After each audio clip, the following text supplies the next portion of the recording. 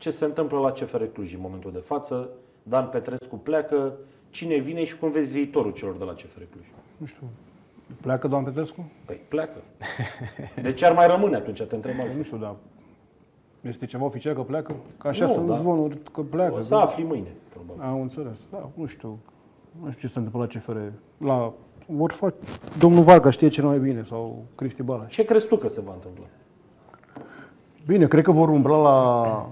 Vor continua să umble la salarii, nu vor fi în salariile care În au fost- continuare? În continuare, da. Nu cred că vor mai Deci fi au scăzut și mai scad un pic, da? Asta e părerea mea, de că Da. vor să, să ajungă așa pe linia de plutire la partea financiară.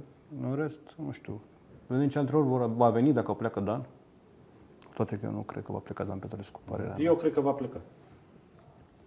Bine, am văzut în ProSport la noi că vine Zvan Lucescu. Este Nu vine el. Răzvan Lucescu, a fost ofertat Răzvan Ofertat, Lucescu de e- către Neluțu Varga. E greu să vină Răzvan de la ce salariu acolo, să vină în România. Da, dar poate Neluțu Varga își dorește chestiile astea, nu știu. Vreau să-l chem și eu pe Marius Avram să schiem în Austria. El are altă treabă, dar eu mi-aș dori. Da, și Așa eu e vreau la- mâine să-mi cumpăr Ferrari, dar e greu să-mi iau un Ferrari. Că, te rog eu frumos, hai să Marius, tu ce crezi? Eu cred că ar fi momentul să plece Dan Petrescu. Dacă nu acord. acum, atunci când? Uh, După toate problemele pe care le-a avut și ți-a cățit un minte la un moment dat când CFR-ul nu mergea așa bine și își revenise, s-a mai pus problema plecării lui, dar s-a îmbolnăvit patronul și n-a putut să aibă Da. discuția cu ei. După care a urmat uh, o revenire a CFR-ului, practic au reintrat în lupta pentru titlu și atunci lucrurile se părea că merg bine acolo în cadrul clubului, cu relația între patron și antrenori era foarte bună în momentul respectiv. Și apoi a urmat căderea asta de final care a dus la uh, obținerea în ultima etapă a locului 3 în condițiile în care a fost obținută și cu scandal până la urmă, că n-a fost obținută ușor, ci cu scandal. Jocul CFR-ului tot a scârțâit până la urmă. Deci e clar că acolo lucrurile trebuie schimbate cumva, pentru că așa cum vorbeam și în emisiunile trecute, este o generație care ușor, ușor s-a apropiat de final acolo și uh, a obținut performanțe extraordinare, 5 ani la rând titlu și apoi locul 3, nu mi se pare o cădere atât de drastică. Da? Am văzut echipe în alte campionate care au avut 4-5 titluri, iar apoi s-au dus direct către mijlocul E o clasamentului. singură diferență, Dan Petrescu nu prea știe să piardă. Ar demonstra că nu știe să piardă, intră atât de mult, e atât de pasionat de ceea ce face și la un moment dat își pierde uzul rațiunii în momentul respectiv și așa cum a spus-o și a declarat-o, ulterior regretă. Uh, Este, de multe ori la meciuri, îl arbitram, câștiga cu 4-5-0 și tot venea după meci să-mi spună că un out sau un foul sau ceva a fost, deci era prins așa de mult de ceea ce s-a întâmplat acolo.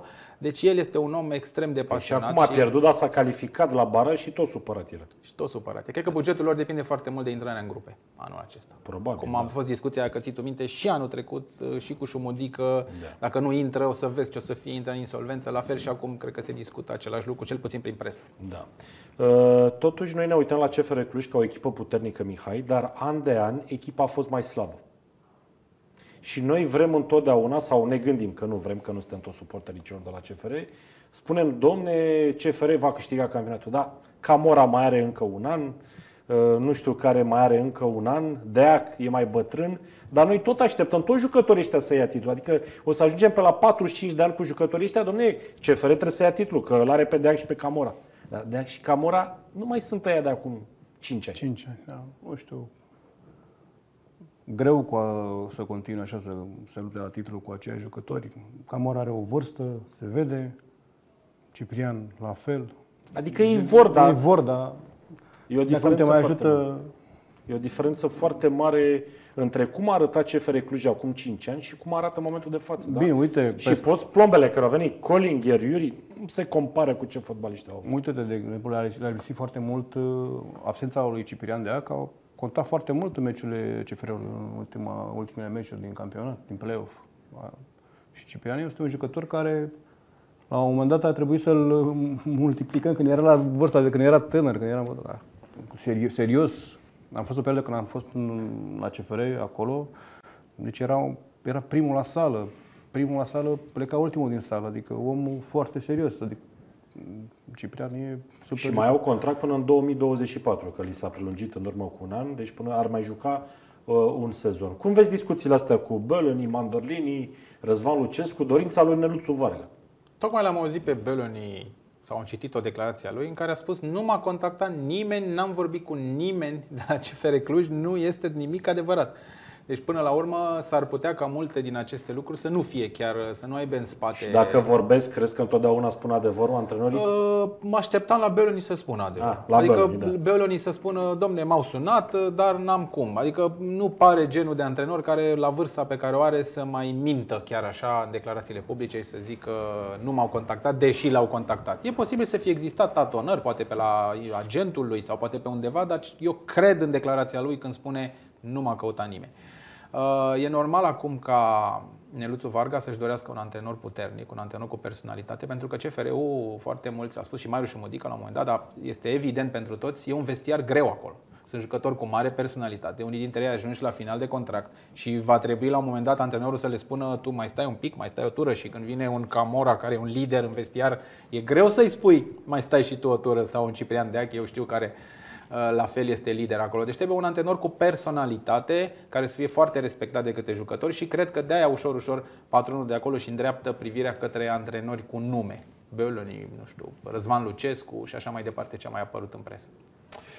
Nu avem antrenor la Universitatea Cluj, cel puțin până în momentul de față, se vehiculează multe nume. Nu avem antrenor la Sepsi, da, atenție, echipe care și-au îndeplinit obiectivul, da.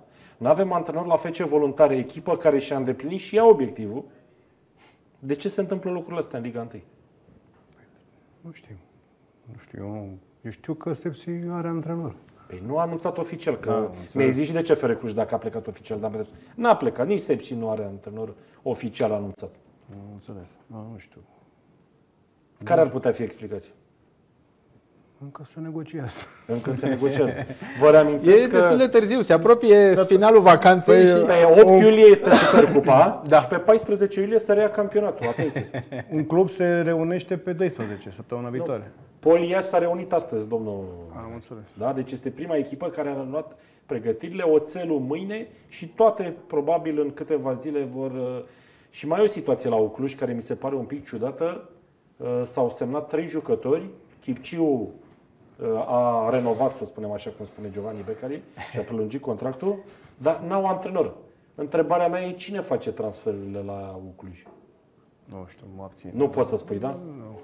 Putem să bănuim, nu? Președintele, managerul, Așa din uh, exterior. antrenorul din umbră, nu știu. Așa din exterior, uh, m-a surprins faptul că Ovidiu Sabău nu și-a prelungit contractul cu Cluj, pentru că știm că n-a fost ușor de convins să revină după pauza destul de lungă, de câțiva ani de zile Da, da, da. pe care a avut-o și a fost adus acolo pentru a-i menține în Liga 1 și a îndeplinit obiectivul și m-a surprins că n-au reușit totuși să se înțeleagă, Din deși punctul meu acolo de vedere, o părea pierdere că... mare pentru Da, Cluj, pentru Cluj plecarea. Decizia i-a aparținut 100%.